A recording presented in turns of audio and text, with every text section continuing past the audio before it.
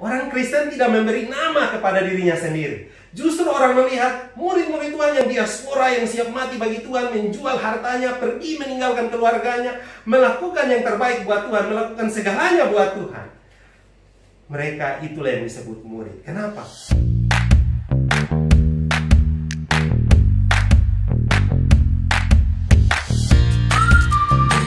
Baik, kita akan sama-sama belajar bagian firman Tuhan ini. Saya dikasih tema New Life, New Hope, New Spirit.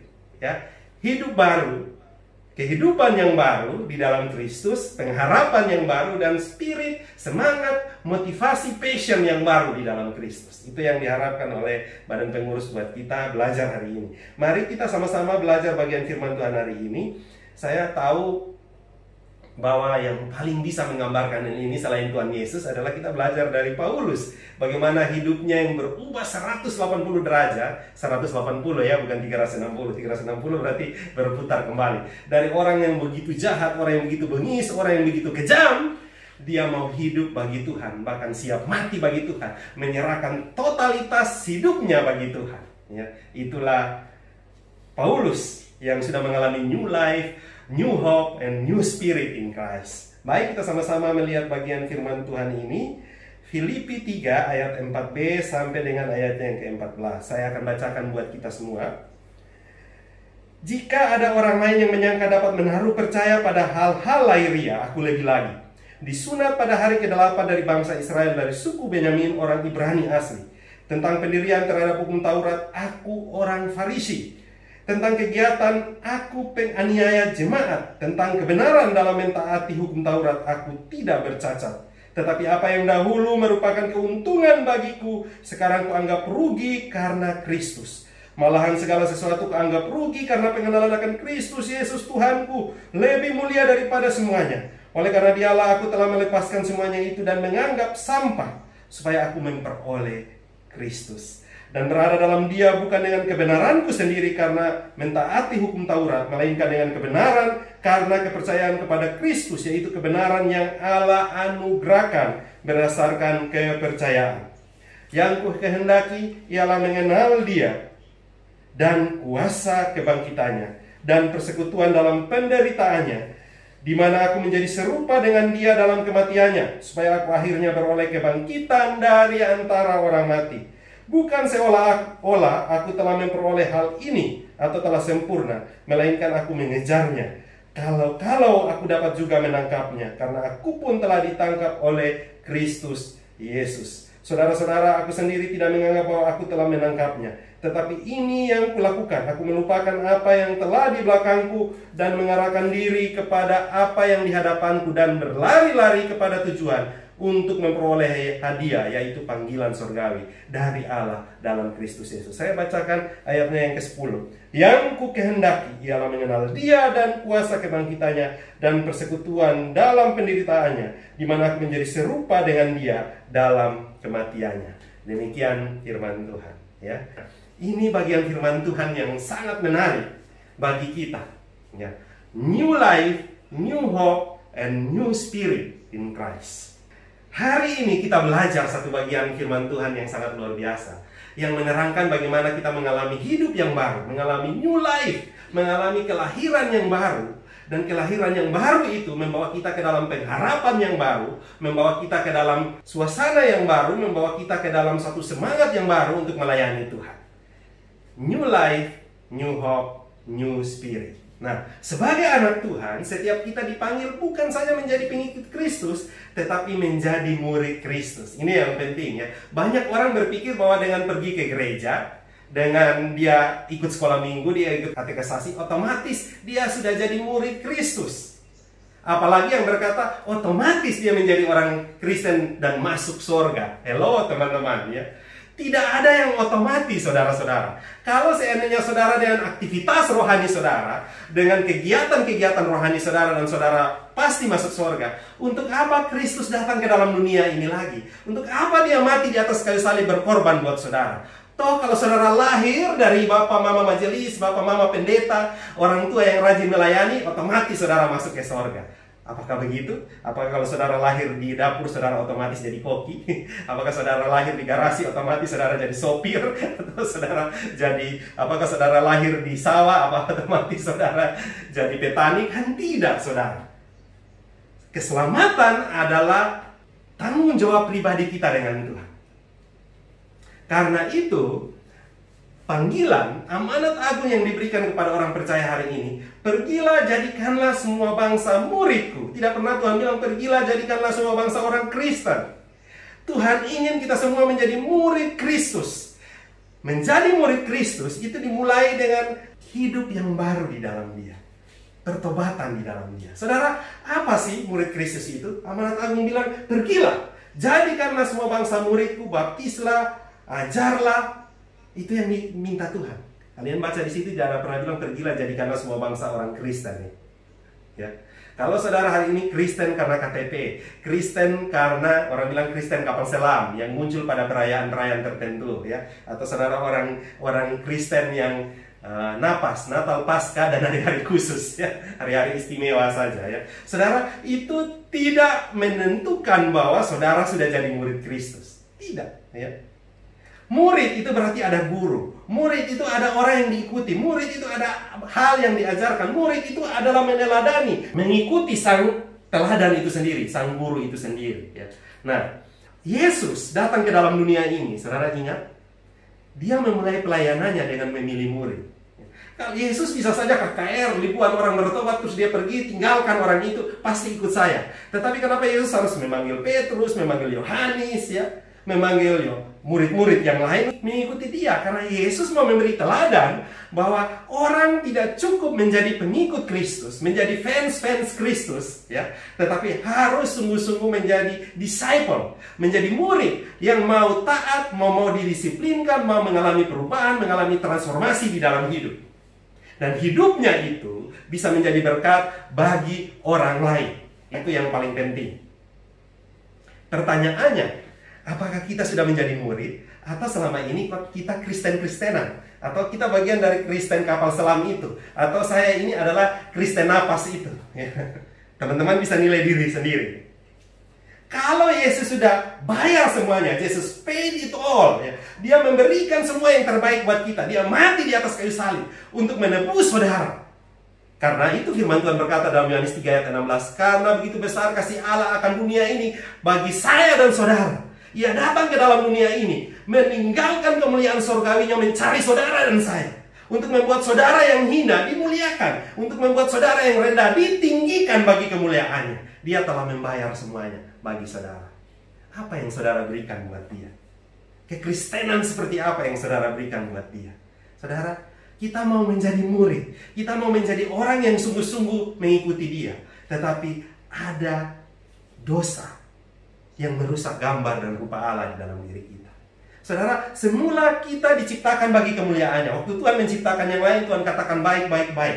Tapi pada saat Tuhan menciptakan kita manusia, dikatakan sungguh amat baik. Siapa pun adanya dirimu, saudara. Saudara keriting, saudara hitam, saudara putih, saudara gigi tonggos, saudara pendek, saudara tinggi, saudara gendut. Tuhan bilang sungguh amat baik. Penilaian manusia yang membuat berbeda, saudara. Tapi di mata Tuhan sungguh amat baik. Tetapi karena kita jatuh di dalam dosa sehingga yang amat baik itu menjadi tercemar kita tidak lagi dapat memancarkan terang kasih Allah ini di dalam hidup kita. Roma 5, 5 ayat 12 katakan ini, seperti ini. Sebab itu sama seperti dosa masuk ke dalam dunia oleh satu orang. Dan oleh dosa itu juga maut. Demikian maut menjalar kepada semua orang. Karena semua orang telah berbuat dosa. Semua orang telah berbuat dosa. Roma 3 ayat 23 katakan dan telah kehilangan kemuliaan Allah. Artinya saudara dan saya tanpa Tuhan hidup di dalam dosa. Di dalam kejadian dikatakan bahwa tidak ada seorang pun yang mencari Allah, seorang pun tidak. Saudara bisa membayangkan. Hidup tanpa Tuhan adalah menuju kepada jurang maut. Hidup tanpa Tuhan adalah menuju kepada kebinasaan. Hidup tanpa Tuhan adalah mati, tapi sebenarnya hidup. Saya mengatakan itu. Kita yang hidup tanpa Tuhan, saya akan-akan kita merasa kita lagi hidup, tetapi kita sebenarnya mati.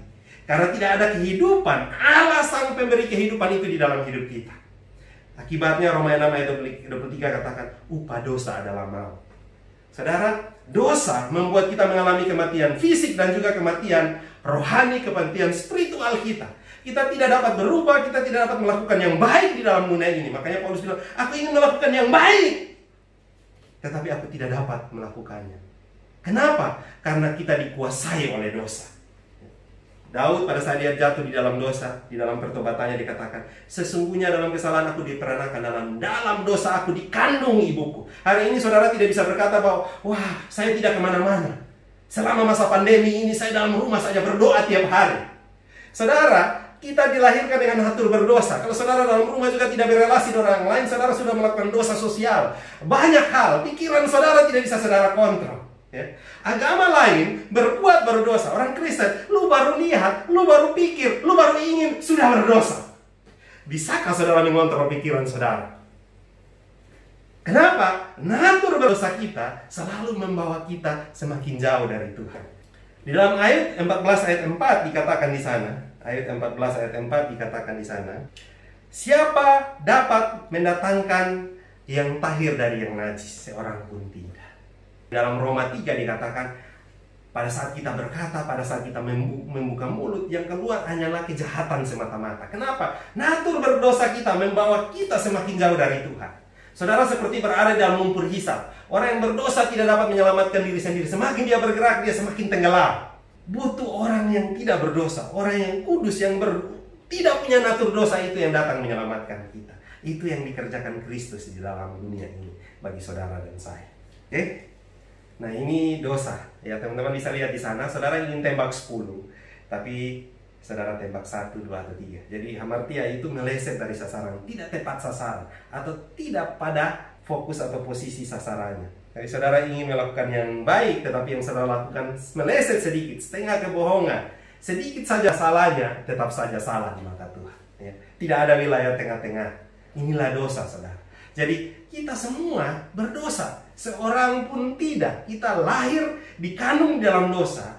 Tanpa penebusan, tanpa hidup di dalam Tuhan, tanpa kelahiran baru di dalam Tuhan. Maka kita akan menuju kebinasaan. Itu sudah pasti. Roma 6 tadi katakan bahwa upah dosa ialah maut. Nah, inilah dampak dosa di dalam hidup manusia. Ya.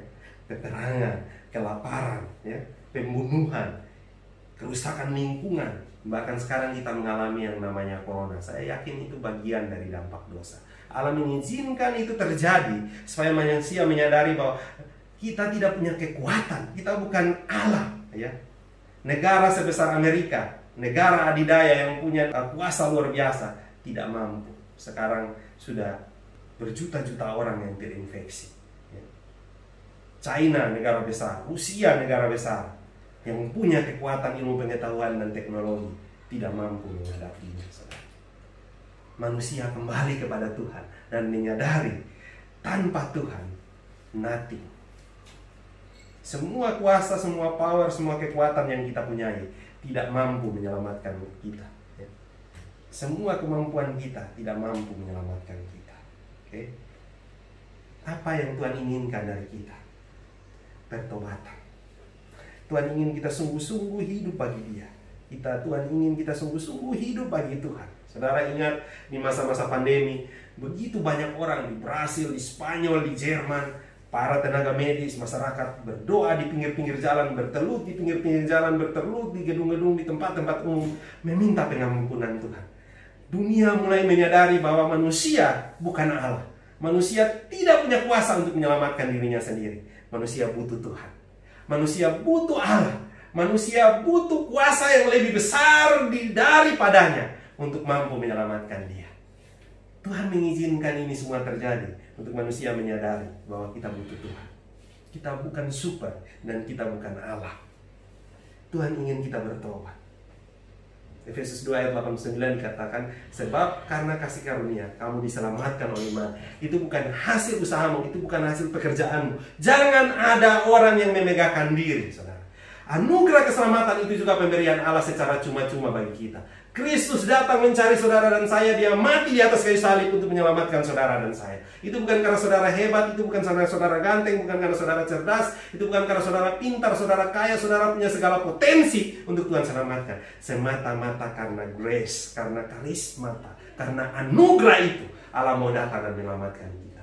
Dia mengasihi saudara. Tuhan ingin pertobatan dari kita. Hari ini kita belajar satu kisah yang luar biasa. Kisah seorang murid Tuhan, Paulus. Orang yang sungguh-sungguh mau berubah dari hidup yang lama menuju kepada hidup yang baru. Saudara menjadi murid Tuhan adalah kerinduan Tuhan bagi anak-anaknya. Percaya kepada Yesus Kristus sebagai Tuhan dan Juru Selamat secara pribadi. Itu saja banyak orang berpikir itu menjadi tujuan akhir. Lahir baru berarti sudah, saya sudah selamat. Tidak saudara, itu baru awal perjalanan bersama-sama dengan Tuhan. Kita harus bertumbuh semakin hari semakin dewasa di dalam dia. Menjadi murid Kristus yang mau bertumbuh, mau berakar, mau berbuah bagi kemuliaannya. Itu yang Tuhan harapkan dari kita. Jadi percaya kepada dia, lahir baru di dalam dia, itu adalah awal perjalanan kita bersama-sama dengan Tuhan. Sama seperti kalau saudara lihat orang menikah, banyak orang menghabiskan duit pesta di hari pertama dan beberapa bulan kemudian cerai, saudara. Kenapa? Karena mereka berpikir bahwa pernikahan itu adalah tujuan dari semua yang mereka laksanakan. Padahal pernikahan itu adalah awal perjalanan seumur hidup bersama pasangan mereka menjadi keluarga yang memuliakan Tuhan. Sama juga dengan lahir baru. Makanya orang katakan pilihan paling penting dalam hidup yang pertama lahir baru di dalam Tuhan, menerima Dia sebagai juru selamat pribadi. Yang kedua, memilih pasangan hidup. ya. Kenapa itu menggambarkan hal yang sama? Sekali saudara hidup di dalam dia, roh kudusnya akan membimbing saudara berjalan bersama-sama dengan dia. Menjadi murid Tuhan seumur hidup. Itu luar biasa. Makanya Tuhan memanggil kita bukan saja menjadi pengikut dia, menjadi fans. ya. Kalau saudara di sini fans ya, BTS ya. Bahkan boys. Atau saudara menjadi uh, army. saudara menjadi uh, Blackpink. ya saudara menjadi penggemar. Itu menjadi fans saudara. Wow begitu lihat harus wah ah, gitu ya. Luar biasa. Banyak orang bisa sampai pingsan ya. Mengeluarkan uang yang banyak untuk menonton konser mereka ya. Ikut mereka. Tetapi yang paling penting yang Tuhan mau dari kita. Saudara tidak bisa jadi fans. Saudara harus jadi murid Tuhan. Murid Tuhan yang seperti apa saudara-saudara? Murid Tuhan yang berani berkata ya kepada kehendak dan tidak kepada dosa saya biasa singkat begini, murid yang mencintai Tuhan melebihi siapa pun juga dan apa pun juga di dunia ini. Dan membenci dosa melebihi apa pun siapa pun di dalam dunia ini. Seringkali kita bilang kita mencintai Tuhan, tetapi kita peluk dosa. Seringkali kita bilang saya mengasihi Tuhan, tapi kita bercium-ciuman dengan dunia ini. Hawa nafsu selalu membawa kita. Kita lebih mencintai dunia ini daripada mencintai Tuhan. Ya. Saudara, kata murid itu menunjuk kepada pengikut Kristus. Matetes itu artinya orang yang memfollow Tuhan. Orang yang sungguh-sungguh hidup bagi Tuhan. Orang yang sungguh-sungguh mimikin Kristus di dalam hidupnya. Dia menjalani hidup sama seperti Tuhan. Bahasa aslinya itu sama seperti saudara berdiri, ada bayangan. Ya. Di bayangan itu saudara dapat melihat orang yang asli. Jadi kalau kita berdiri ada bayangan kita. Nah kita itu adalah bayangan Kristus di tengah-tengah dunia ini. Itu yang Tuhan mau dari kita. Nah, saudara, kata murid pertama kali muncul, saudara harus tahu ya, kata murid ini untuk pertama kali muncul, murid-murid ini disebut Kristen di kisah 11 ayat 26b. Jadi saudara harus belajar di dalam Alkitab kata murid, bukan kata Kristen. Orang Kristen tidak memberi nama kepada dirinya sendiri. Justru orang melihat murid-murid Tuhan yang diaspora yang siap mati bagi Tuhan, menjual hartanya, pergi meninggalkan keluarganya, melakukan yang terbaik buat Tuhan, melakukan segalanya buat Tuhan mereka itulah yang disebut murid. Kenapa? Itu lihat dari dalam gaya hidupnya yang mencintai firman Tuhan, yang berdoa terus bagi Tuhan, hidup dalam persekutuan, yang rela membayar harga, yang mengalami perubahan hidup, yang punya fokus yang jelas bagi pekerjaan Tuhan, punya misi dan visi hidup bagi kemuliaannya. Sehingga orang ini orang-orang luar biasa. Mereka adalah pengikut Kristus, Kristus, Kristus dari Nazaret. Sehingga lahirlah kata Kristen. Agama lain memproklamirkan agamanya. Orang Kristen diberi nama oleh orang lain. Jadi kalau hari ini saudara menjadi orang Kristen, orang lihat saudara mau muntah, aduh Kristen model begini. Hai menyanyi di gereja mulut penuh kata-kata kotor. Tiap hari omong firman Tuhan maki di Facebook, marah-marah di Facebook, kompor gas di Facebook, kompor gas di Instagram dan segala macam orang aduh, lu beta senada beda, jangan terlalu banyak. Ya. Jadi hidup kita tidak lagi memancarkan apa yang disebut dengan Kristen, tetapi kita justru menjadi racun, ya. toksik. kita menjadi masalah, kita menjadi gambar yang rusak, yang tidak lagi memancarkan siapa Kristus. Saudara, murid Kristus adalah orang yang mau lahir baru, dibentuk karakternya dan mempunyai pengharapan, mempunyai hope, mempunyai visi yang teguh, spirit pelayanan yang kuat bagi kerajaan Allah. Itulah murid Kristus. Saya ulangi lagi, murid Kristus adalah orang yang mau lahir baru, mau menerima Dia, bertobat di hadapannya, mau dibentuk karakter emosinya untuk semakin dewasa di dalam Tuhan. Orang yang mempunyai pengharapan, mempunyai hope, mempunyai visi yang teguh bagi kerajaan Allah dan mempunyai spirit motivasi bagi kerajaan Allah. Saudara, kelahiran baru yang Tuhan mau. Tanpa kelahiran baru, maka kita semua tidak akan selamat, saudara. Tadi kita sudah belajar dosa akibatnya adalah mau. Lupa dosa ialah mau, tetapi ada lanjutannya. Saudara bayangkan kalau titik di situ, tapi ada lanjutannya, ya. Tetapi ada keselamatan di dalam Tuhan. Ada kasih karunia Allah yang menyelamatkan. Tanpa Kristus datang ke dalam dunia ini, tanpa kasih karunia Allah itu, tanpa keselamatan di dalam Tuhan, saudara dan saya akan binasa. Itu yang dikatakan oleh Yohanes 3 ayat 16 tadi. Karena begitu besar kasih Allah, ia datang ke dalam dunia ini supaya barang siapa yang percaya kepadanya tidak binasa, melainkan memperoleh hidup yang kekal. Yohanes 6 ayat 57 dikatakan bahwa barang siapa yang percaya kepadaku, ia mempunyai hidup yang kekal. Siapa yang ngomong? Yesus sendiri. Yohanes 5 ayat 24. Orang yang percaya kepada Tuhan sudah pindah dari dalam maut ke dalam keselamatan. Oke, teman-teman. Jadi kelahiran baru yang Yesus inginkan di dalam hidup kita. Ya. Tadi kita sudah belajar. Menjadi murid Kristus yang pertama adalah punya kehidupan yang baru. Punya kelahiran yang baru dalam Tuhan. Dan mau diproses dalam Tuhan. Nah, menjadi murid Kristus, kita diarahkan sebagai mahasiswa, kita sebagai orang percaya, kita diminta untuk menjadi pemimpin di masa depan. Saudara, menjadi pemimpin, ini the law of influence dari John C. Maxwell dikatakan begini. Pemimpin adalah pengaruh, tidak lebih tidak kurang. Ini pengertian pemimpin. Leader di seluruh dunia pengertiannya begini. Kalau saudara belajar tentang leadership, ya. Pemimpin karena posisi orang yang dapat jabatan karena dia diangkat karena dia kepala jadi saudara harus hormat itu pemimpin karena posisi itu biasanya posisi yang paling rendah dalam leadership karena begitu dia tidak jadi pemimpin lagi tidak ada akan ada orang yang hormatin dia ya. Pemimpin karena permission ini orang jadi pemimpin karena dia tokoh adat karena dia tua jadi mau, mau tidak mau harus hormati Thomas ya tokoh masyarakat ya Wah, saudara pergi KKN di daerah ya kalau saudara ketemu orang begini, apa hormat. Kadang-kadang ngomong dengan dengar-dengar orang ngidul, teman-teman harus hormat dia karena dia lebih tua dan dia tokoh masyarakat. Ya, ini pemimpin agak lumayan, tapi bukan posisi yang baik. Pemimpin karena production, ini pemimpin yang kalau saudara dekat dengan dia, saudara akan dikembangkan hidupnya. Ya, jadi luar biasa. Ini juga lumayan.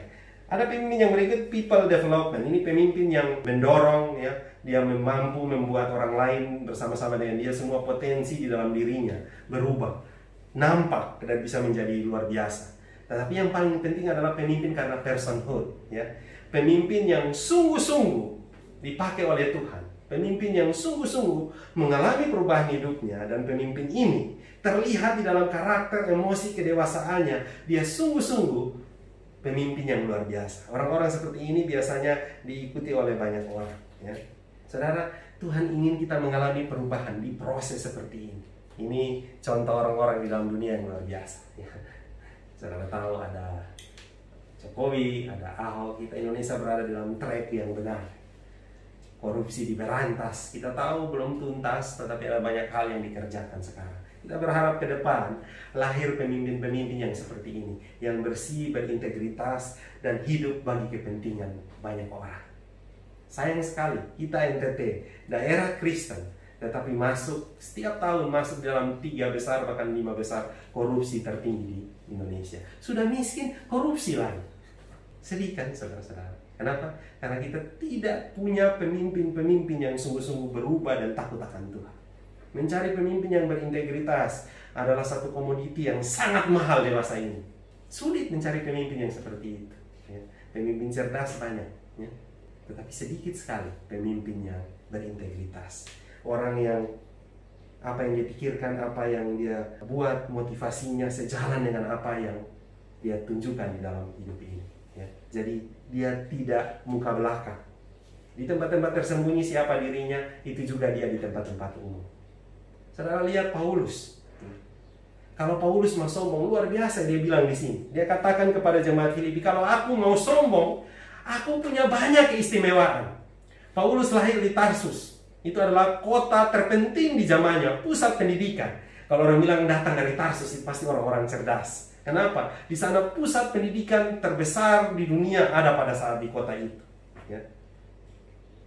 Dua lainnya ada di Athena dan Alexandria. Tetapi Tarsus pun menjadi pusat yang luar biasa. Paulus asalnya dari sana. Jadi orang sudah berpikir, wah dia pasti mendapatkan pendidikan yang luar biasa. Yang berikut lagi dia seorang warga negara Roma. Saudara, waktu itu Romawi menjajah dunia. Paulus punya dua keluarga negaraan. Warga Yahudi, orang Israel, dan juga warga Romawi.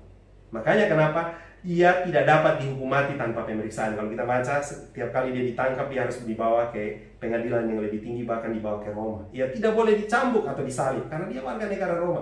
Masa bangsa penjajah dihukum oleh yang dijajah? Kan tidak mungkin. Ia memiliki hak untuk naik banding sampai kepada Kaisar Roma. Saudara bisa memain, kalau dia ketemu orang lain, hei bosong bahasa penjajah. Ya, dia bisa sombong, bodoh-bodoh satu nih. sombong ya. Biasalah kalau kita sudah sekolah di Kupang pulang, ya bapak mama ngomong eh bapak dan mama di sekolah SMA sasong tamat mengajar lagi beta mahasiswa. Sombongnya bukan main. Dalam kuliah saya belum selesai. Nah Paulus tidak membuat semua itu menjadi kebanggaan dirinya. Apalagi yang harusnya Paulus bisa banggakan. Paulus adalah seorang farisi asli.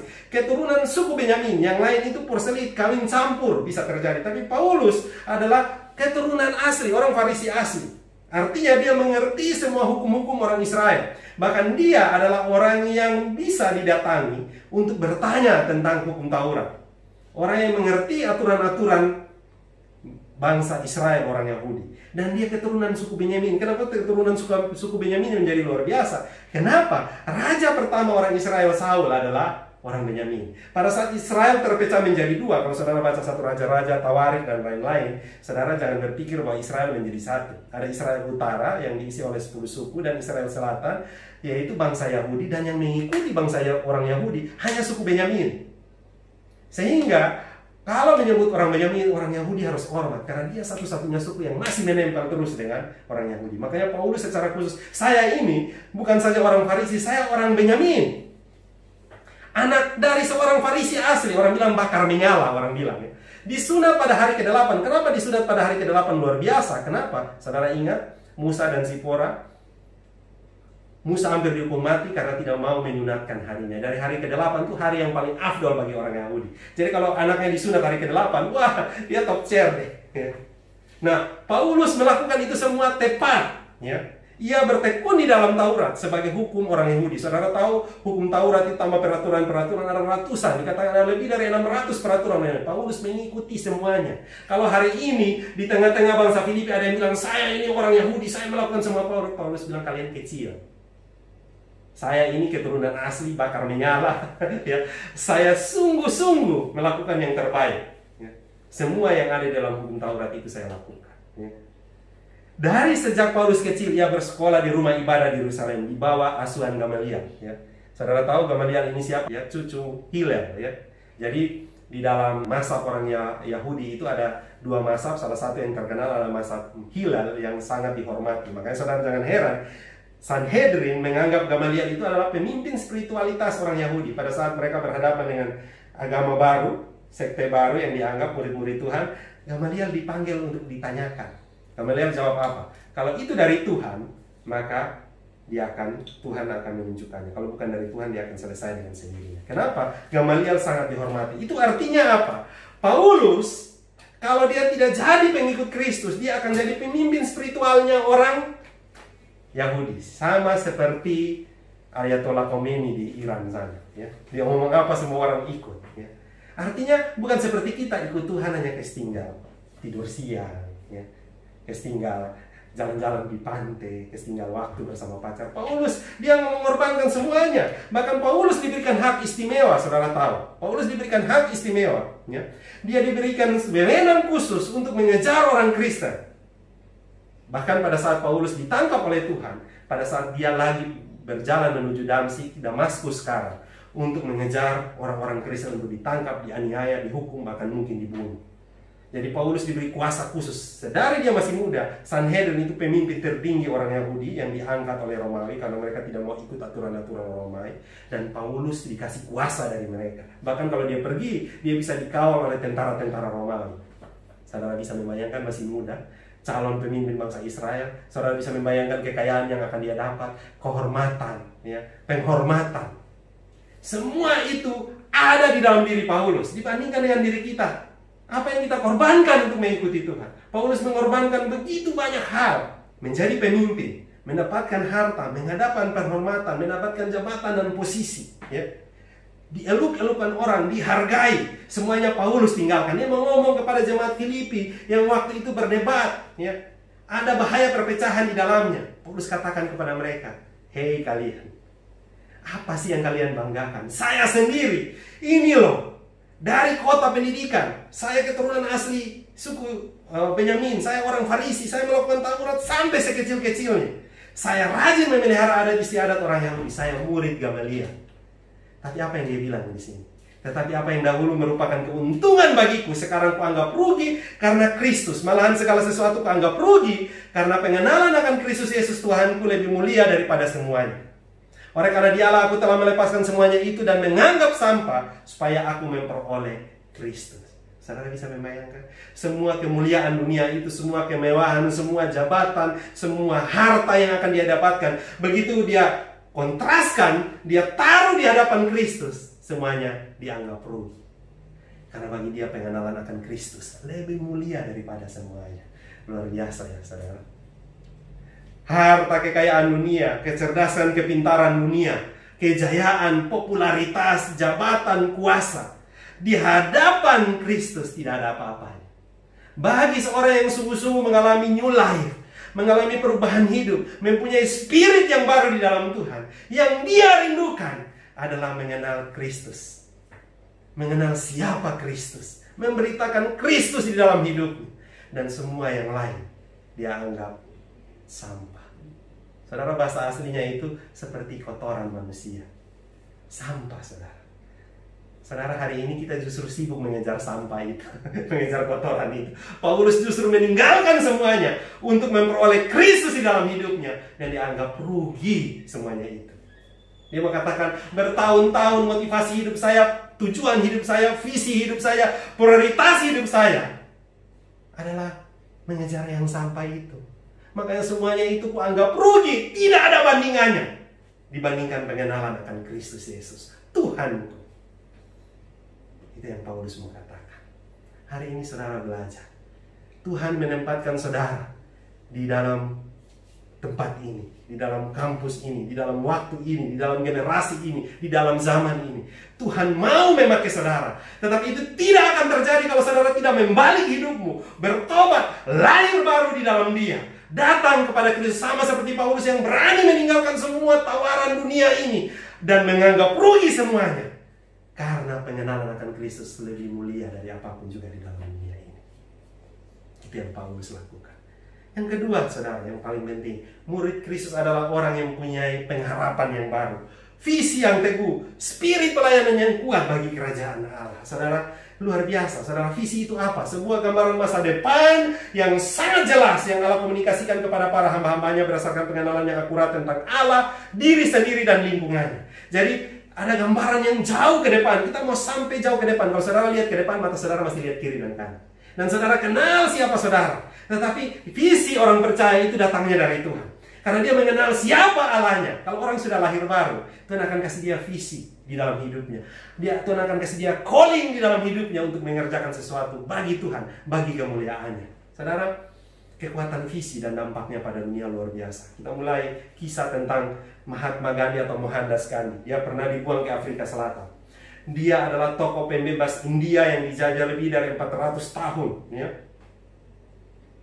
dengan perjuangan yang namanya Satya Ahimsa dan Satya Graha. Perjuangan tanpa kekerasan, membebaskan India dari penjajahan bangsa Inggris. Ya. Hidupnya sangat sederhana, sangat bersahaja, dan dia membawa bangsa itu keluar dari penjajahan Inggris. Dia dibuang ke Afrika Selatan. Dan semangat perjuangannya, perjuangannya tanpa kekerasan itu. Saudara tahu datangnya dari mana? Mahatma Gandhi membaca Alkitab. Semua kitab-kitab dunia dia pelajari. Tapi dia belajar khotbah di bukit. Dia baca di sana dia terheran-heran. Tampilan pipi kiri kasih pipi. Ini luar biasa ajaran dari mana? Ya. Tidak boleh membalas kejahatan dengan kejahatan, tapi membalas kejahatan dengan kebaikan. Dia bilang, hampir saja saya menjadi Kristen. Tapi dia lihat bangsa Inggris yang menjajah, bangsa India yang Kristen. Tidak menunjukkan apa yang dipraktekkan di dalam Alkitab itu. Apa yang dikatakan oleh Tuhan itu. Dia bilang, hampir saja dia menjadi Kristen. Dia menjadi Kristen anonim. Kenapa? Dia menjalankan semua falsafah-falsafah ajaran agama itu. Tapi tidak harus menjadi agama Kristen. Saudara, semangatnya itu menyebar bagikan virus di dunia ini, saudara. Dia dibuang ke Afrika Selatan. Dan di sana ada orang yang bernama Nelson Mandela di Afrika Selatan. Dia adalah orang yang membebaskan Afrika Selatan dari politik apartheid, ya.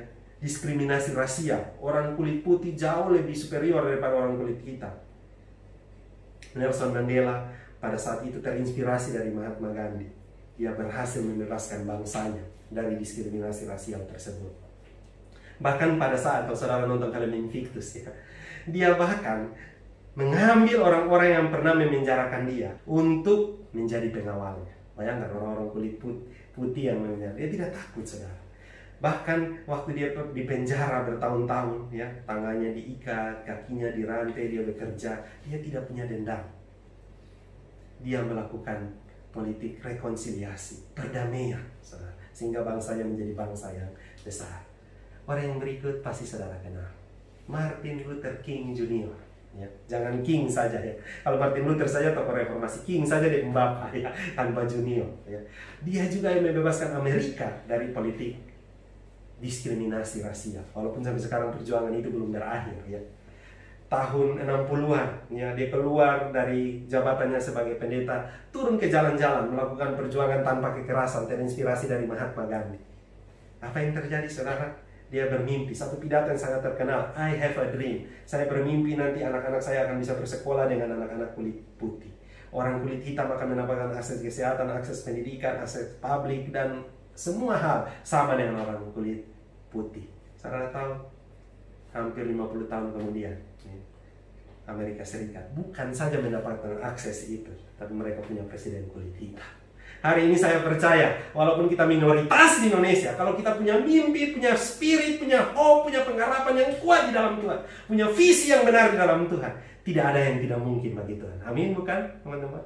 Hari ini mungkin ada di antara saudara-saudara yang hari ini yang digerakkan, di move ya oleh firman Tuhan itu untuk saudara sungguh-sungguh melayani Dia. Tidak ada yang tidak mungkin bagi Tuhan. Saya yakin itu bisa terjadi. Inilah visi. Visi tanpa aksi hanya menjadi mimpi. Aksi tanpa visi hanya menjadi aktivitas. Banyak kan orang-orang seperti ini di gereja, di organisasi, tanya lu bikin apa? Ikut kegiatan. Lu tahu ini organisasi tujuan apa? Saya tahu itu yang namanya aktivis ya. ya.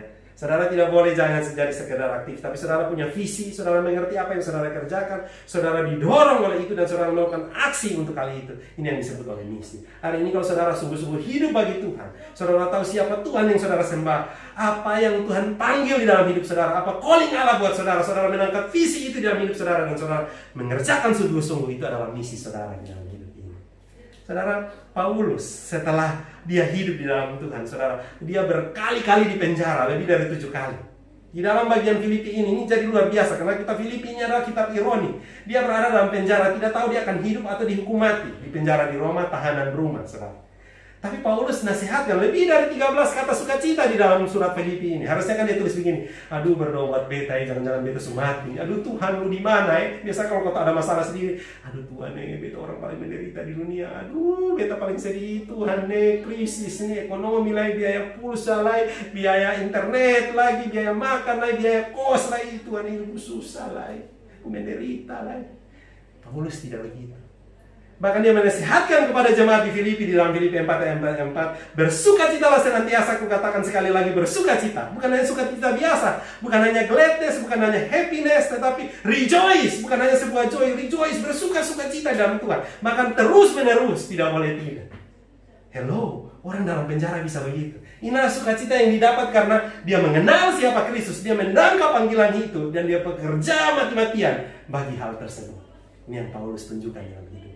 Saudara, bahkan pada saat di dalam penjara dia bersuka cita. Kenapa? Karena dia dirantai kepada seorang prajurit Romawi. Jadi mereka bergantian merantai, eh, menjaga dia dan dirantai, diborgol kayak prajurit itu selama 24 jam. Jadi setiap 6 jam prajurit berganti. Berarti dalam satu hari dia ada empat kali dan orang setiap orang yang dia rantai itu dia punya kesempatan penginjilan. Ini luar biasa. Orang yang hidup dalam Tuhan tidak melihat kesusahan krisis sebagai beban, tapi melihat itu sebagai kesempatan. Dia tidak melihat itu sebagai penghalang, batu sandungan, tapi dia melihat itu sebagai batu loncatan untuk dia loncat jauh lebih tinggi lagi mengerjakan pekerjaan Tuhan. Ini bedanya. Orang yang punya new hope dan new spirit. Orang yang punya visi di dalam Tuhan. Ya. Kalau orang yang tidak, dia akan mengeluh dan kasih salah Tuhan. Tapi Paulus tidak. Bahkan dia menasihati kepada jemaat di Filipi yang lagi dalam bahaya perpecahan. Bersukacitalah. Tidak usah sombong, tidak usah bangga, tidak usah menyombongkan dirimu. Ingat kepada Kristus dalam Filipi 2 yang taat sampai mati demi saudara dan saya. Itu yang Paulus katakan kepada jemaat Filipi. Bahkan Paulus katakan seperti ini. Yang ku kehendaki ialah mengenal dia dan kuasa kebangkitannya. Dan persekutuan dalam penderitaannya di mana, di mana aku menjadi serupa dengan dia dalam kematian. Jadi ini semangat yang baru, spirit yang baru, new hope. Ini pengharapan yang baru. Kenapa Paulus bukan berkata seperti itu? Karena di bagian lain dikatakan bukan aku lagi yang hidup, tetapi Kristus yang hidup di dalam aku. Ada lagunya. Bukan aku lagi yang hidup, tapi Kristus hidup dalamku. Ada lagunya kan dari sekolah minggu kita nyanyikannya. Yang kehendaki ialah mengenal dia. Jadi seluruh kerinduannya adalah mengenal Tuhan. Belajar tentang dia. Memberitakan kebenarannya. Di mana aku menjadi serupa dengan dia di dalam kematiannya. Dia siap menderita bagi Kristus. Untuk memberitakan kebenarannya. Saudara ini luar biasa saudara. Apa kerinduan saudara hari ini? Kalau saudara sudah terima Kristus, saudara mau bertobat. Apa yang menjadi visi saudara? Tetapi ini yang kulakukan, dia bilang, aku melupakan apa yang telah di belakangku dan mengarahkan diriku kepada apa yang di hadapanku. Hari ini saudara punya masa lalu, saudara mungkin jatuh di dalam dosa seksual, saudara mungkin orang yang malas, secara karakter saudara pemalas, saudara lamban, ya, saudara orang yang uh, tidak rajin, saudara orang yang tukang marah-marah, saudara orang pemarah, saudara orang yang tidak bisa mengerjakan sesuatu dengan serius, saudara tidak bisa fokus, dan masih banyak hal yang lain. Saudara emosional, saudara orang yang suka iri hati, ya suka cemburu, ya gampang dengki saudara orang lain. Mungkin banyak hal yang lain yang mengganggu saudara sehingga saudara tidak bisa menjadi kelas. Tapi saudara, di dalam Tuhan perubahan itu terjadi. Paulus orang yang bengis dan jahat, mengejar orang Kristen dan mau menangkap, membunuh dan menganiaya. Tetapi waktu Tuhan menangkap dia dalam perjalanan ke Damsi, Paulus berubah 180 derajat dia hidup bagi Tuhan. Bahkan dikatakan, tetapi ini yang kulakukan. Aku melupakan apa yang telah di belakangku dan mengarahkan diri kepada apa yang di. Saudara. Visi Tuhan yang baru. Pengharapan yang baru di dalam Tuhan. Kalau hari ini saudara sudah hidup di dalam Tuhan. Hari ini saudara sudah bersama-sama dengan Tuhan. Maka masa depan saudara ada di dalam tangan Tuhan. Bahkan Tuhan bilang begini. Barang siapa percaya kepadaku yang mempunyai hidup yang kekal. Yohanes 6 ayat 27. Hari ini juga pada saat saudara percaya kepada dia, saudara sudah mempunyai hidup yang kekal. Di dalam Yohanes 14 ayat 6 dikatakan, I am the way, the truth, and the life. No one come to the Father but by me. Akulah jalan kebenaran dan hidup. Tidak ada seorang pun yang datang kepada Bapa kalau tidak melalui aku. Dia datang kepada saudara. Dia yang telah mengubah hidup Paulus, dia juga akan mengubah hidup dia yang telah mencelikan mata hati Paulus, yang memberikan pengharapan yang baru, spirit yang baru, semangat yang baru kepada Paulus, sanggup juga merubah hidup. Kamu akan meninggalkan semua dosa-dosamu di belakang dan mengarahkan kepada panggilan yang baru di dalam Tuhan. Luar biasa. Bahkan Paulus bilang cukup bukan mengarahkan lagi dia berlari-lari kepada tujuan untuk memperoleh hadiah yaitu panggilan surgawi di dalam Kristus Yesus. Saudara satu calling yang baru, dia berlari-lari dengan semangat untuk mengerjakan itu. Kalau saudara baca di bagian yang lain dia bilang di akhir hidupnya Paulus katakan, aku telah mengakhiri pertandingan dengan baik. Wah ini luar biasa. Saudara berani katakan begitu. Ini sama seperti kata Yesus katakan, sudah selesai. Atau nanti di akhir hidup saudara-saudara bilang, aduh saya masih berhutang banyak, aduh kenapa saya mati cepat, aduh masih banyak alasan-alasan yang lain. Kenapa? Kalau orang yang sudah lahir baru, orang yang sudah punya pengharapan yang baru dalam Tuhan, orang yang punya spirit yang baru di dalam Tuhan, ya orang-orang itu akan terus hidup bagi Tuhan. orang-orang itu akan mengerjakan sesuatu yang luar biasa di dalam dunia ini. Mungkin itu saudara. Saudara, Tuhan ingin kita berubah. Tuhan ingin kita melakukan yang terbaik bagi dia. Yesus sendiri katakan, makananku ialah melakukan kehendak dia yang mengutus aku dan menyelesaikan pekerjaannya. Sebab aku telah turun dari sorga, bukan untuk melakukan kehendakku, tetapi untuk melakukan kehendak dia yang telah mengutus aku. Saudara, kalau Kristus datang ke dalam dunia aja, dia yang adalah Allah, untuk melakukan kehendak Bapa di sorga. Kita hidup untuk melakukan kehendak siapa? Kehendak diri sendiri? Kehendak dunia ini? Atau mau taat kepada Tuhan, saudara? Dan ketaatan itu tidak pernah akan datang kalau saudara tidak punya new life, new hope, new spirit di dalam Tuhan. Kadang-kadang orang berkata, wah saya sudah punya hidup yang baru, tapi ke manakah hidup saya? Saudara jangan takut, saudara Tuhan bilang, aku, Allah menjamin hidupmu. Di dalam Yohanes 14 dikatakan aku menyediakan tempat bagimu. Artinya hari ini saudara dan saya sudah punya tempat di dalam kerajaan sorga. Dunia ini cuma penggambaran sementara. Maka Paulus berani katakan, aku hidup tetapi bukan aku yang lagi yang hidup. Dunia ini bukan tempat saya, tetapi sorga. Tetapi dunia ini tempat di mana kita membangun, mendatangkan kerajaan Allah. Hiduplah bagi Tuhan. Tidak ada yang bisa dibandingkan dengan itu, pengenalan akan Tuhan dunia ini, kekayaan dunia ini semua akan berlalu. Tetapi kita tidak sudah punya surga. Di dalam bahasa teologi dikatakan already and not yet. Pada saat kita percaya kepada Tuhan, pada saat itu juga kita sudah memperoleh hidup yang kekal. Tetapi baru dinikmati nanti. Tetapi hari ini KTP kita sudah surga. Makanya di dalam Yohanes 1 ayat 12 ayat 14 dikatakan, barang siapa percaya, aku telah mengangkatnya. Ya. Diberi kuasa menjadi anak-anaknya. Kenapa? Karena anak Tuhan cuma Kristus, tapi karena kita percaya kepadanya, kita diadopsi menjadi anak-anaknya. Menjadi anak berarti kita menjadi ahli waris kerajaannya. Karena itu saudara harus taat. Kalau Yesus saja melakukan kehendak Bapa di sorga, saudara melakukan kehendak siapa? Saudara Paulus mengalami hal-hal yang luar biasa di dalam hidup. Ya. Dia kerap hampir terbunuh. Ya. Di penjara lebih dari 6-7 kali, mengalami pukulan di luar batas. Ya. Tiga kali dipukul oleh orang non Yahudi dengan tongkat. Lima kali ia diberi 39 cambukan. Ini cambukan orang Yahudi. Ujungnya itu pakai mata kain. Kulit-kulitnya hancur, saudara. Ia dirajam dengan batu. Ia mengalami tiga kali karam kapal. Hanya satu yang dicatat di dalam kisah 27. Ia mengalami bahaya dalam perjalanan. Bahaya banjir, penyamun, bahaya penganiayaan dari saudara palsu. Bahaya di padang gurun, di laut. Bekerja berat dan kelelahan. Tidak tidur, lapar, puasa. Karena tidak ada makanan, kedinginan. Dan tidak cukup pakaian. Dipagut ular dan lain-lain. Semuanya pernah dialami oleh Paulus. Rasul yang luar biasa. Tapi ini yang Paulus katakan tetapi harta ini kami punyai dalam bejana tangan dia. Supaya nyata bahwa kekuatan yang melimpah-limpah itu berasal dari Allah. Bukan dari dalam diri kami. Dan segala hal, dalam segala hal kami ditindas. Namun tidak terjepit. Kami hamis akal namun tidak putus asa. Kami dianiaya namun tidak ditinggalkan sendirian. Kami dihempas namun tidak binasa. Kami senantiasa membawa kematian Yesus di dalam tubuh kami. Supaya kehidupan Yesus menjadi nyata di dalam hidup kami. Saudara, kenapa Paulus bisa berkata seperti itu? Kenapa Paulus punya kekuatan? Kenapa punya semangat, punya kerelaan membayar harga seperti itu? Karena Paulus punya new life and new hope in Christ, new spirit in Christ. Dia punya pengharapan yang kuat di dalam Kristus.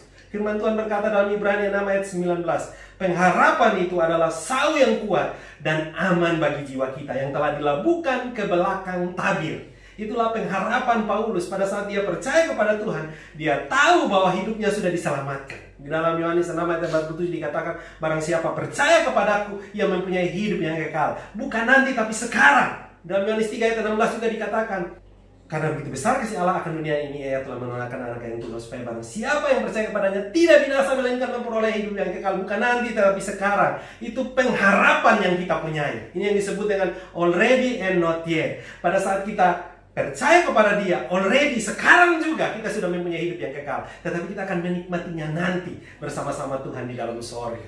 Tetapi saat ini KTP kita sudah KTP sorgawi sehingga Paulus berani berkata hidupku bukan aku lagi tapi Kristus yang hidup di dalam aku. Hidup dunia ini cuma penggambaraan sebentar. Kita akan kembali ke tempat kita yang sesungguhnya yaitu rumah Bapa di sorga. Tetapi selama kita masih hidup di dunia ini kita hidup bagi kemuliaannya Saudara, inilah visi hidup Paulus. Ia menyerahkan diri sepenuhnya kepada Tuhan di dalam ketaatan dan komitmen kepada dia. Saudara dia berkata, tetapi aku tidak menghiraukan nyawaku sedikit pun, asal saja aku dapat mencapai garis akhir dan menyelesaikan pelayanan yang ditugaskan oleh Tuhan Yesus kepadaku. Di hadapan Raja Agripa dia berkata kepada penglihatan penglihatan yang dari surga itu, Ya Raja Agripa, aku tidak pernah tidak taat. Paulus setia kepada visinya sampai dengan akhir hidupnya. Sehingga dia akhir hidupnya berani berkata, Aku telah menyelesaikan pertandinganku dengan baik. Saudara yang ada di sini sekarang, apakah saudara bisa berkata seperti Paulus? Atau di akhir hidup saudara-saudara yang berkata, aduh aku masih utang banyak, kenapa aku harus mati sekarang? Aku masih banyak hal yang akan dikerjakan. Banyak pemimpin-pemimpin dunia berkata seperti itu. Saudara banyak orang, tetapi Paulus berkata, aku telah menyelesaikan pertandinganku dengan baik. Yesus berkata, sudah selesai, saudara. Itu berarti dosaku, dosamu, dosa kita semua yang dahulu sekarang bahkan masa yang akan datang telah tuntas diselesaikan oleh Yesus di atas kayu salib. Saudara, Kristus yang hebat menghasilkan manusia-manusia yang hebat dan tindakan yang berani dan hebat. Saudara, kita berada di masa-masa krisis. Tuhan berharap di tengah-tengah situasi krisis yang seperti ini lahir anak-anak Tuhan, lahir pemimpin-pemimpin yang sungguh-sungguh menjadi murid Tuhan, yang membawa terang Allah itu, yang membawa kabar keselamatan itu, yang menjadi gambar Allah di tengah-tengah dunia ini, yang membawa orang-orang dapat melihat inilah orang Kristen, inilah murid Tuhan, sehingga orang dapat memuliakan Tuhan dan datang kepadanya. John F. Kennedy berkata, krisis yang hebat menghasilkan manusia-manusia yang hebat dan tindakan yang berani yang hebat. Saudara, ada dua gambaran yang luar biasa. Dari dua tokoh yang pernah hidup di zaman yang sama, bersekolah di tempat yang sama. 200 tahun kemudian diadakan penelitian tentang mereka. Orang yang pertama bernama Mark Jukes. Dia hidup mengikuti keinginan dirinya sendiri dan hidup mengikuti dunia ini. Orang yang kedua bernama Jonathan Edwards. Banyak dari kita yang mengenalnya. Dia adalah tokoh pembaharu gereja, seorang yang sangat luar biasa, menjadi tokoh Kristen yang mempengaruhi dunia dari tahun 1203 sampai 1758 banyak khotbah banyak yang mempengaruhi kekristenan sampai zaman ini. Nah saudara, setelah 200 tahun mereka mati, ada satu institusi yang menyelidiki kehidupan dan keturunan mereka. Max memiliki 1026 keturunan dan memiliki reputasi. 300 orang pernah dipenjara rata-rata 13 tahun. 440 orang hidup pesta pora dan mabuk-mabukan. 100 orang pecandu alkohol, 310 orang hidup sangat miskin dan sebagai gelandangan. 55 orang jadi korban kenajisan, 130 orang menjadi pelaku tindakan kriminal, 60 orang sebagai pencuri dan perampok, 190 orang sebagai pelacur, 7 orang sebagai pembunuh, satu pun dari keluarganya tidak ada yang memberikan kontribusi yang baik kepada lingkungannya dan mereka semua membebani negara dengan hutang sebesar 1 juta 200 ribu dolar. Wah, besar sekali bukan? Ya, kalau dirupiahkan. Ya. Yang berikut kita lihat bagaimana dengan Jonathan Edwards, seorang yang takut akan Tuhan. Dia memiliki lebih sedikit ya keturunan setelah 200 tahun. Tetapi dari 929 orang itu masing-masing mempunyai reputasi ya. 300 orang pendeta, misionaris dan guru Alkitab. 120 orang sebagai profesor. 14 orang sebagai rektor universitas dan mempengaruhi dunia pendidikan dan mempengaruhi kehidupan bangsa. 60 orang sebagai pengarang buku yang baik dan terkenal, mempengaruhi pemikiran banyak orang. 60 orang lebih menjadi dokter, mempengaruhi dunia kesehatan dan tingkat kualitas hidup bangsanya. 110 orang menjadi pengacara yang menegakkan keadilan dan kebenaran. Beberapa menjadi pengusaha yang terkenal di Amerika. Tiga jadi anggota kongres yang mempengaruhi pengambilan keputusan dalam dunia politik dan undang-undang bagi bangsa. Satu orang sebagai wakil presiden Amerika dan tidak seorang pun berhutang pada negara. Saudara ini bedanya. Orang yang hidup takut akan Tuhan yang mengalami new life, new hope, new spirit. Sekarang tinggal saudara pilih. Apakah saudara mau hidup seperti Paulus, Jonathan Edwards, atau saudara mau hidup seperti Jukes tadi. Yang menghancurkan. Yang hidupnya tidak, bahkan keturunannya juga. Justru menjadi toksik dan racun bagi negara dan bagi banyak orang. Hari ini Tuhan memanggil kita untuk kembali kepadanya. Dia telah merubah hidup Paulus, dia sanggup merubah hidupmu. Dia sanggup memberikan kamu kehidupan yang baru, dia sanggup memberikan kepada kamu pengharapan yang baru. Dia sanggup memberikan kepada kamu motivasi, semangat yang baru bagi dia. Ini dimulai dengan bertobatlah. Datang kepada Tuhan. Tuhan sanggup merubah hidupmu. Hari ini Paulus telah memilih jalannya. Dia kembali dari hidupnya yang begitu rusak, datang kepada Tuhan. Dia kembali dari hidupnya yang begitu kotor, datang kepada Tuhan. Dan Tuhan merubahnya menjadi sesuatu yang luar biasa. Saudara, jangan takut, saudara. Listen to the word. Dengar kepada firman-Nya dan lihat apa yang terjadi dalam dunia ini. Dunia ini ingin kita berubah. Paulus dalam Filipi 1 ayat 21 katakan, karena bagiku hidup adalah Kristus dan mati adalah keuntungan. Tetapi jika aku harus hidup di dunia ini, itu berarti bagiku bekerja dan memberi buah. Saudara,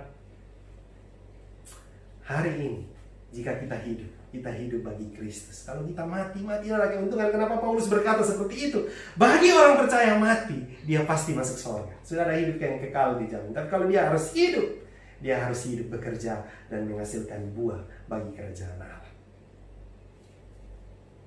Dan kita tidak perlu takut, saudara. Karena bagi Tuhan tidak ada yang mustahil. Kalau kita berjalan bersama-sama dengan Tuhan, tidak ada rencana Tuhan yang gagal. Dia berjanji, aku akan menyertai engkau sampai kepada kesudahannya. Saudara, mari kita semua tunduk di hadapan Tuhan. Saudara bisa hidupkan kamera saudara semua. Mari kita arahkan hati kepada Tuhan. Hari ini Paulus telah berubah di dalam hidupnya. Tuhan ingin saudara juga berubah di dalam hidup saudara. Minta Tuhan mengubah hidup saudara. Minta Tuhan memperbaiki hidup saudara. Tuhan mau saudara mempunyai kehidupan yang baru di dalam Tuhan. Tuhan mau saudara mempunyai pengharapan yang baru di dalam Tuhan. Tuhan mau tuh saudara mempunyai motivasi, semangat, spirit yang baru di dalam. Hari ini firman Tuhan telah datang kepada kita dan Tuhan mau kita mengambil waktu berdoa kepada Tuhan Tuhan. Mungkin selama ini saya jauh hidup saya begitu buruknya. Saya ingin jadi sama seperti Paulus mengalami kelahiran yang baru di dalam Tuhan. Tuhan mau memakai saudara dengan luar biasa di dalam hidup saudara. Kalau hari ini saudara memang sungguh-sungguh ingin diubahkan. Saudara ingin sungguh-sungguh lahir baru di dalam dia. Selama hidup saudara, saudara berpikir saudara sudah Kristen, saudara pasti selamat. Hari ini berita firman Tuhan berkata, saudara harus mengalami kelahiran baru di dalam dia. Minta Tuhan masuk ke dalam hidup saudara, menguasai seluruh hidup saudara. Ambil waktu di hadapan Tuhan. Ini kesempatan saudara untuk berubah bagi Tuhan. Angkat tanganmu tinggi-tinggi. Tuhan, saya mau Tuhan, saya mau berubah. Saya ingin dilahirkan kembali di dalam Engkau. Berjalan bersama-sama dengan Tuhan. Saudara belum pernah berdoa seperti ini di dalam hidup saudara. Katakan kepada Tuhan, Tuhan saya mau. Yang berikut, kalau hari ini saudara merasa saudara sudah jatuh di dalam dosa seks yang mendalam, mungkin dosa masturbasi, dosa pornografi, dosa kecanduan gen, dosa bamaki, dosa mencuri, dosa menfitnah, dosa melakukan hal-hal yang jahat, dosa menggunakan mata untuk melihat hal-hal yang jahat, menggunakan mulut untuk menggunakan untuk hal-hal yang jahat, melangkah untuk melakukan yang jahat, atau saudara jatuh di dalam dosa masturbasi, menggunakan okultisme, kuasa-kuasa kegelapan, saudara hidup dalam kebencian terhadap orang tua kepada sesama, hari ini Tuhan sanggup menebus hidup. Katakan kepada Tuhan, Tuhan saya mau. Puji Tuhan, puji Tuhan. Puji Tuhan. Katakan kepada Tuhan, Tuhan saya mau. Katakan kepada Tuhan, Tuhan saya mau. Puji Tuhan, puji Tuhan. Katakan kepada Tuhan.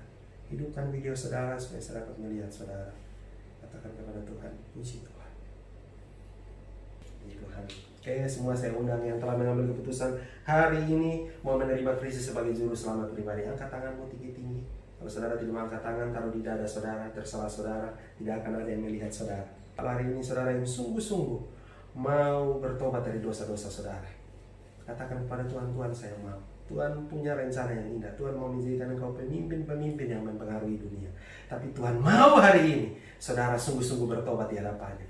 Darah Yesus yang tercurah di atas kayu salib sanggup menebus dosa saudara. Dosa pornografi, dosa seksual, dosa masturbasi, dosa seks yang mendalam, dosa kata-kata kotor, dosa menipu, dosa memfitnah, dosa gosip, dosa pencuri, dosa suka membual, dosa kesombongan, ya, dosa kebencian, dosa pemarah, dosa kemalasan. Tuhan sanggup merubah semuanya. Hari ini Tuhan mau memakai saudara dengan luar biasa. Katakan kepada Tuhan, Tuhan saya mau. Datang kepada Tuhan. Datang di bawah kaki Yesus. Tuhan sanggup. Kalau Paulus saja Tuhan sanggup merubahnya, maka Tuhan sanggup merubah kita. Tuhan akan sanggup merubah hidup kita untuk menjadi alat kemuliaannya. Angkat tanganmu tinggi-tinggi katakan kepada Tuhan, Tuhan saya mau taruh di dada saudara. Kalau hari ini tuh saudara sungguh-sungguh mau menjadi murid Tuhan, terlibat di dalam kelompok-kelompok kecil, bertumbuh bagi Tuhan. Di sana ada kakak-kakak rohani yang akan membimbing saudara. Katakan kepada Tuhan, Tuhan saya mau. Kalau saudara sudah mengambil keputusan menerima dia sebagai juru selamat pribadi, mau memperbarui hidup, harusnya saudara siap juga menjadi murid Tuhan. Mari kita tunduk, saya akan berdoa buat saudara. Bapak dan kerajaan sorga kami mengucap syukur hari ini karena Tuhan bersama-sama dengan kami. Hari ini kami belajar bahwa Tuhan sanggup berubah orang yang jahat, orang yang seorang penganiaya, seorang yang betul-betul rusak hidupnya, yaitu Paulus. Hari ini kami percaya Tuhan juga sanggup berubah hidup kami. Darahmu yang tercurah di atas kayu salib sanggup menebus dosa-dosa kami. Hari ini ada anak-anakmu yang sungguh-sungguh mengaku dosa di hadapanmu. Mungkin hari selama ini terlibat di dalam dosa pornografi, dosa masturbasi, bahkan sudah jatuh di dalam dosa seks yang mendalam. Bahkan mungkin Tuhan, kami mengalami pelecehan, kami benci terhadap orang-orang yang melakukan itu terhadap kami. Atau kami juga membenci orang tua kami, kami membenci saudara kami, kami menggunakan mulut kami untuk mengeluarkan kata-kata kotor, sumpah, serapa, fitnah, gosip, kemarahan, kebencian, kata-kata yang menghancurkan hidup orang lain. Kami juga menggunakan mata kami untuk melihat hal yang jahat. Kami menggunakan tangan kami untuk memukul, mencuri, melakukan hal-hal yang tidak berkenan kepada Tuhan, menggunakan kaki kami untuk melangkah, untuk melakukan hal-hal yang jahat. Tubuh kami kotor, pikiran kami kotor, tujuan hidup kami tidak kepada Tuhan. Bahkan kami hidup bagi dunia ini Tuhan. Hari ini kami sungguh-sungguh meminta ampun di hadapanmu. Tidak ada yang mustahil bagi Tuhan. Darah Yesus yang tercurah di atas kayu salib sanggup menebus dan membasuh dosa setiap anak-anakmu. Mari Tuhan engkau melihat setiap anak-anakmu yang mengangkat hati, mengangkat tangan. Tuhan menjama mereka satu persatu. Tuhan mengubahkan hidup mereka. Pakai mereka untuk alat kemuliaan. Kami percaya Tuhan bekerja apa yang terikat di dunia ini terikat di sorga. Hari ini anak-anakmu berjanji Tuhan. Mau membuka hati menerima engkau sebagai juru selamat pribadi. Mari Tuhan masuk. Engkau menguasai seluruh hidup mereka. Materekan mereka dengan kuat kuasamu Tuhan. Jadikan mereka anak-anak ketebusanmu. Kalau ke depan mereka mau melangkah keluar daripada jalanmu Tuhan yang ingatkan dengan cara Tuhan sendiri. Roh Kudusmu membimbing dan mengarahkan hidup mereka. Untuk mereka hidup bagi Tuhan. Terima kasih Tuhan bagi setiap anak-anakmu yang mengambil keputusan hari ini.